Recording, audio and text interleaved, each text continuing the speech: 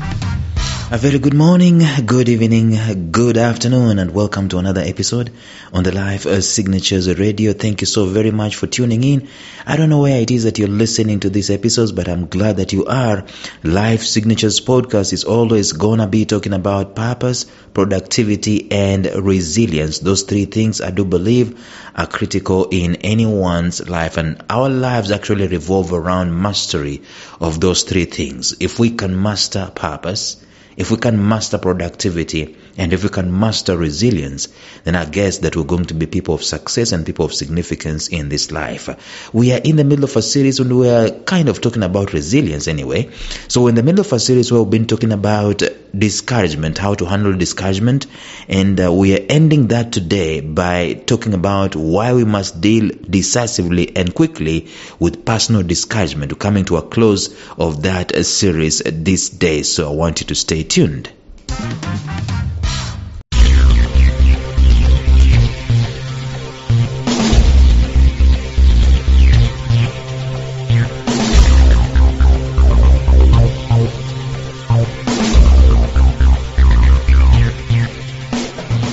Welcome to the Life Signatures podcast with Lawrence Namale. Lawrence is a life coach, author, and keynote speaker who loves to tackle different topics on purpose, productivity, and resilience. His mission in life is to awaken all your boundless possibilities available in you. Life Signatures podcast is dedicated to bring to reality every single person who knows that deep down in their gut there's got to be more to life than this. And now, here is your host, Lawrence Namale.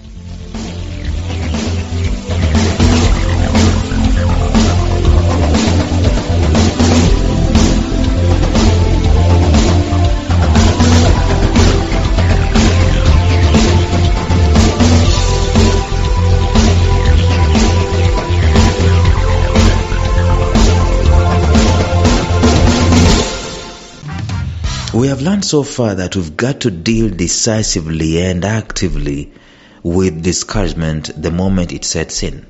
We might not win the war the first day when we start going against discouragement. It might simmer for a minute or for a day or something, but the worst we can do is to do nothing when discouragement comes. At, at best, you need to get some help from somebody. You know, call in the troops and call in your trusted fellows and tell them, I'm going through this and going through that and I feel do- down, I feel low. Why don't you like do something for me? There are some guys, uh, some Christians will say, pray for me, you know, shoot up a prayer for me, man. I'm, I'm going through this and cover me. That's the word they normally use. Cover me a little. See, the worst you can do is to go through discouragement alone. In fact, you're going through discouragement alone and your mouth is zipped. You're not saying anything. Yesterday we say that a preacher normally says that uh, you should run against your enemy with your mouth open. Run towards your enemy with your mouth open. Don't cover your mouth. Don't close your mouth when discouragement comes in. And I know that's the first thing that it does. When discouragement enters through our door, I mean, we it forces some silence in us and we retreat into the mind and we start you can always see the gears in our minds rotating at different speeds and different directions topsy-turvy. But we are saying nothing. We're doing nothing. This internal uh, meditation on the negative that discouragement has just opened that particular door it, it's a killer. And we need to scratch that city we need to come to that place where we say no I'm not going to be discouraged. I know it, it, sounds, this is very theoretical, but I tell you, I've been alive for some decades, and I can tell you that some of the worst things that I've allowed in my life, one of them is when I let discouragement run its course. You know, at the end of the day, when you look back, when you've just gotten out of it, you look back and you see that some of the things that you thought were real were actually illusionary some of the things about yourself right now, your self worth right now, and even your estimation of the future. When you are going through a discouraged moment, they were illusionary. Some of you, you never have imagined in a thousand years that you will be driving and having your own house and your own family and someone who loves you. Because of that moment when you're going through discouragement, you thought that was it, that was over. Life will never simmer for you, life will never sizzle for you. It was an illusionary effect of discouragement, an illusionary assessment of the discouragement you're going through. So we've got to learn to decisively deal with it. And we say that there are just two ways of dealing with this, this discouragement. We say that the first way is to make sure that you do what is within your control. That's what we talked about yesterday. You know, another illusion when discouragement comes is that there is nothing I can do. Oh, I don't have strength to do X, Y, Z, and so on. It's kind of like the many options that you might be having in life, and that's just the thing. One of the biggest places of your power in life is to have options. And discouragement, when it comes in, it cheats you that you have no option.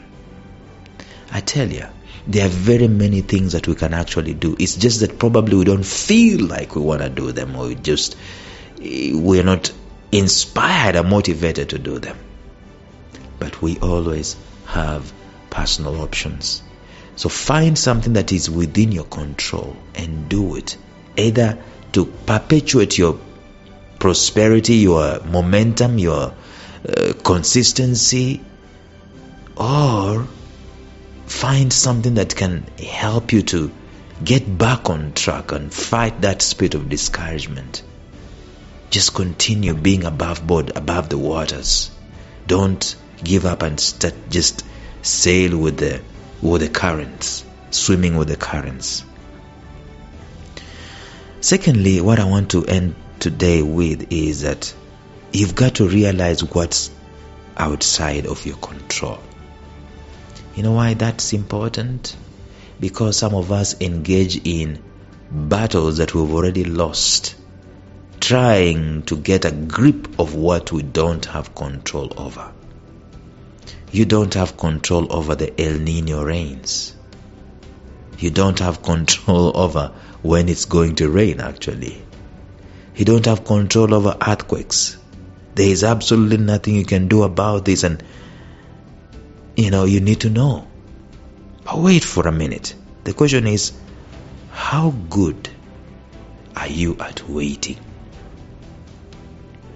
How good are you at waiting? Because when you are not in control, the only thing that sometimes you can do is wait. How do you wait? How do I wait? One will easily realize that discouragement is caused by a large share from what which is outside of us, outside of our control. Delays. I mean, you've submitted your proposal or whatever it is, or actually you've worked for the government. It's two years down the line, they have not paid you what is due to you. Hmm? It is outside of your control. Delays alone, things done out of our desire, it's out of our control. Things spoken against us are outside of our control, but they can result in discouragement. What I'm yet to establish is the power of what is outside of our control in helping us to solve discouragement. That is something that cannot be established, right? Things spoken against us and so on. It is not going to be something we can know. The power that is outside of our control in helping us to solve a discouraged moment. I do not know how that looks like and probably doesn't even exist.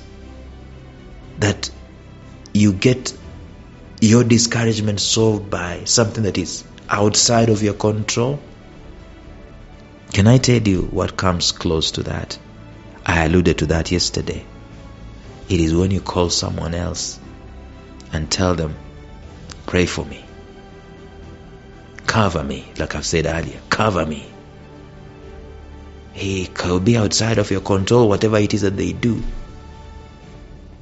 Just to know that there is someone out there who is propping themselves up, you know, standing for you. Standing with you, that's the word, standing with you. Right? You've, they've got your back. They've got your six covered. Right? That has a way of encouraging you. It's probably outside of your control, but it has a way of encouraging you. There is no one that is exempt from going through. No one that is exempt from going through a moment of discouragement. And at the center of anything progressive that you and I will do, the most critical thing that we need to cover, the Bible alludes to this. It is the state of mind. Actually, the Bible says, guard your heart with all you have because the issues of life flow from it. The issues of life, the state of your mind, the state of your heart, when it is discouraged, is the first thing, when there's discouragement, is the first thing that is affected. It's the state. When discouragement comes in, it directly impacts our state of mind negatively. Immediately, it impacts it negatively. And when our state of mind is impacted negatively or our hearts are impacted negatively, we don't reason properly. We don't reason creatively. We don't reason progressively. We actually, instead of advancing, we want to retreat. That's why we have to be very militant in dealing with whatever happens. It is not a fun thing to be discouraged, neither is it fun to deal with it. But we've got to do it. Once we have fully conquered the discouragement, our state of mind, our hearts, will most definitely have changed. It will be, be healthier, either be healthier, it will be positive, it will be hopeful, and even I get it might be more resilient. It will be accommodating at times to, uh, it will be able to recognize other people who are going through the same kind of a discouraged moment, and you know that I went through it, they can also go through it, and therefore you become the outside force that can be able to help them. None is exempt from being discouraged. Even the mightiest of us all will suffer discouragement. And what they will have to learn to do is to handle it and to move on. And I've discovered that the more you get discouraged, the more you let discouragement linger, the more you continue staying with it, the more it becomes devastating. The earlier we start dealing with it, the better. It should be noted that discouragement can actually be a Trojan horse. You know what that means? It's, a, it's delivering other things. It's like an entry. It's like the open open door, uh, delivering other vices that will be detrimental to our healthy state of mind, our physical minds, unless we deal with it decisively. It doesn't come alone. It's got cousins, got brothers and sisters. When discouragement sneaks into your life, it will soon enough invite its friends.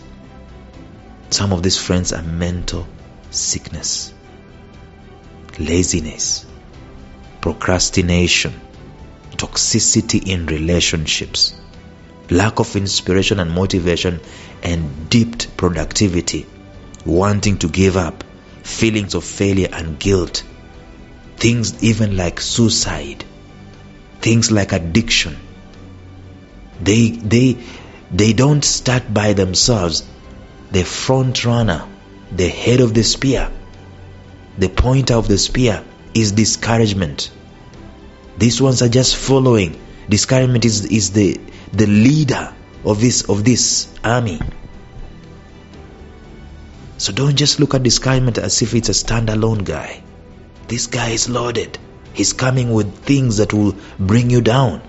That's why you and I, when discouragement comes into our lives, we've got to deal with it decisively. Some of us, we've lost contracts, we've lost our moral authority, we've lost our place of spiritual authority because we were discouraged and we let discouragement bring in other relatives. That's why we've got to militantly deal with it decisively. We need to learn together how we can handle this enemy of discouragement. And I asked uh, the people on social media how each of them handles discouragement at some point in time, and I got very interesting answers. Maybe I should share with those uh, uh, you with those. I should share with you those answers in the succeeding uh, episodes. I think I should do that. But today, we have looked at that, and we've seen how we can be able to overcome discouragement. And then tomorrow, we're going to start talking about something else. Until then, bye bye.